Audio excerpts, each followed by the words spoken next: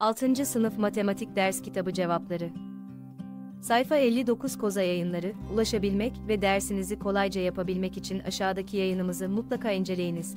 6. Sınıf Matematik Ders Kitabı Cevapları Koza Yayın sayfa 59 tam sayıları karşılaştırma ve sıralama yukarıdaki tabloda 3 ilin bir kış gününde ölçülen ortalama sıcaklık değerleri gösterilmiştir. Bu illerin sıcaklık değerlerini en sıcaktan en soğuğa doğru nasıl sıralayabileceğinizi söyleyiniz. Araç ve gereç kareli kağıt cetvel. Uygulama basamakları. Sayı doğrusunda gösterebileceğiniz ikisi negatif olmak üzere 5 tam sayı belirleyiniz. Kareli kağıda cetvel yardımıyla bir sayı doğrusu çiziniz.